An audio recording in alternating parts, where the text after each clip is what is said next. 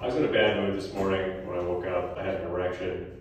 Um, it really makes me so mad. I don't know what it is. I hate morning wood. It's, the mornings I'm in a bad, like I'm a grumpy, person in the morning. I'm tired. I don't want to be alive. I have a hard dick. It's like, have you ever left your debit card like at a bar after a night of drinking to go back in the morning to get it? But the bartender looks at you like, that's how I look at my penis. Like, what are you? Why are you back here?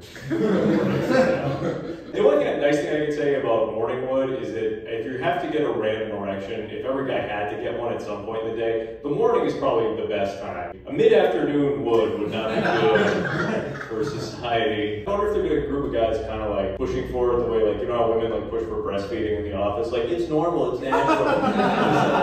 it's your fucking. Uh, excuse me.